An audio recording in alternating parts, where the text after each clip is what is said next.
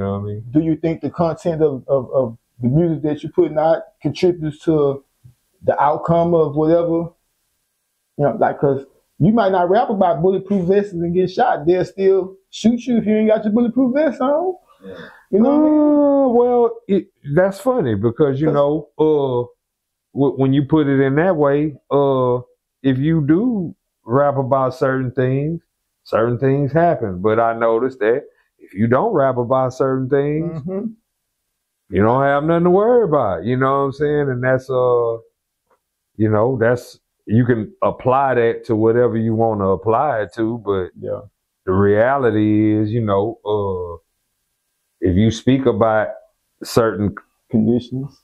then that could present itself in real life. And Those then if you don't talk about it, you know what I'm saying, you just Might don't talk about it. Might avoid it. Might avoid it.